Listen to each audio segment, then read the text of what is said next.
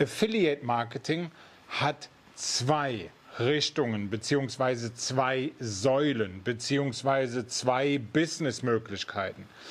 Die eine Richtung oder die eine Businessmöglichkeit ist, dass du selbst nur oder auch als Affiliate tätig bist, heißt in dem Fall fremde Produkte promotest und dafür eine Provision bekommst. Mehr dazu gleich. Die zweite Variante, die sehr, sehr oft außer Acht gelassen wird, ist die Seite Affiliate Marketing als Vendor. Und die ist unter Umständen noch viel, viel ertragreicher, als nur als Affiliate zu arbeiten. Was ich damit meine, du hast ein eigenes Produkt und bewirbst oder lässt dieses Produkt mittels Affiliates bewerben. Das ist eine ganz andere Dimension von Marketing und wird von vielen massiv unterschätzt und auch lustigerweise, katastrophalerweise nicht eingesetzt, sondern es wird immer nur darauf geachtet, Facebook Ads, Google Ads, Pinterest Ads, Display-Werbung oder, oder, oder. Und genau das ist, finde ich, ein fataler Fehler. Mehr dazu in diesem Video. Also, die erste Variante ist der Affiliate.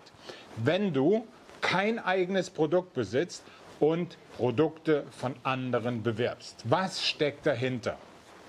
Das Ganze ist schon massiv lange bekannt, meine Lieben. Jeder von euch kennt das Ganze als Affiliate Marketing oder kennt Affiliate Marketing im Offline-Bereich. Ganz simples Beispiel.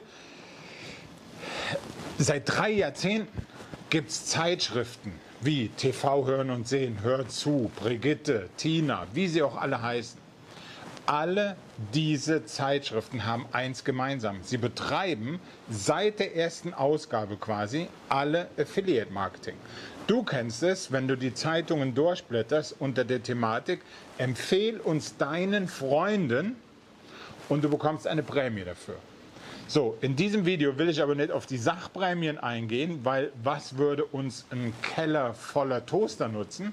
Aber du kennst das aus diesen Zeitungen, ja? Du schlägst die Seite auf und dann ist da eine Prämie, 50 Euro Einkaufsgutschein, ein Toaster, ein Standmixer, ein Föhn. Gibt es viele verschiedene Dinge, die wechseln auch immer mal. Aber ich bin mir sicher, diese Seite kennst du. Da steckt nichts anderes als Affiliate Marketing dahinter. Deswegen lass uns nicht uns einigen, sondern am Ende des Tages ist Affiliate Marketing nichts anderes als Empfehlungsmarketing und jedem da draußen schon lange, lange bekannt.